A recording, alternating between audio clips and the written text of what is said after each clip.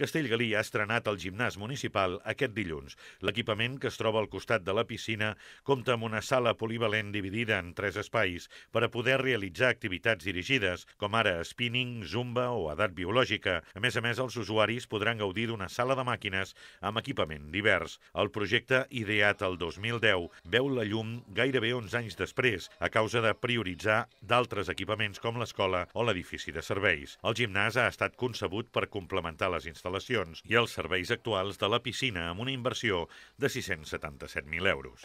I també s'han anat copsant, doncs, com deia, doncs, les inquietuds i les peticions doncs, eh, per anar ajustant doncs, aquestes, aquesta oferta d'activitats dirigides i de, i de màquines doncs, que, que, que de moment eh, posem a disposició doncs, de, de, de quina manera de, eh, es podran utilitzar. La gestió de l'equipament esportiu anirà a càrrec durant les primeres 14 setmanes del Consell Esportiu del Bages, que ha estat seleccionat per concurs públic. Passat aquest temps es traurà també a concurs públic la gestió conjunta de la piscina i del gimnàs municipal per un període de dos anys prorrogables.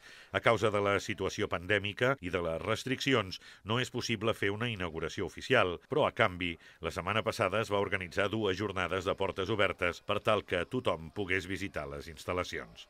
Doncs hi ha hagut bona rebuda per part de, de, dels veïns veïnes, de, de les persones que han vingut en aquestes portes obertes, perquè els, els tècnics d'aquí, del Consell Esportiu del Bages, els han anat explicant les opcions, eh, totes les activitats dirigides que hi han programades. L'objectiu del consistori és arribar als 355 usuaris del gimnàs a llarg termini que podran gaudir de l'equipament esportiu i del paisatge.